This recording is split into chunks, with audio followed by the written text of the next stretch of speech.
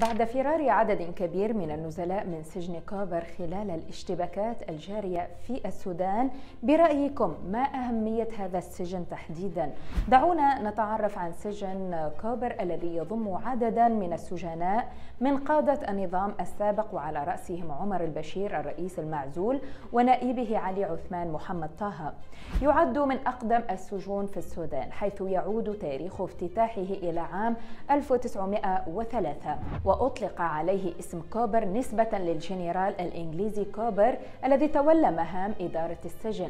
تبلغ مساحة السجن خمسة ألاف متر مربع وتم تصميمه على شكل هندسي يحاكي سجون بريطانيا.